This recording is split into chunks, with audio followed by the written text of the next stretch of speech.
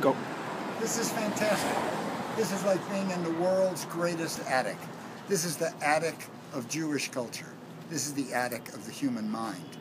This is the attic of the educated human mind.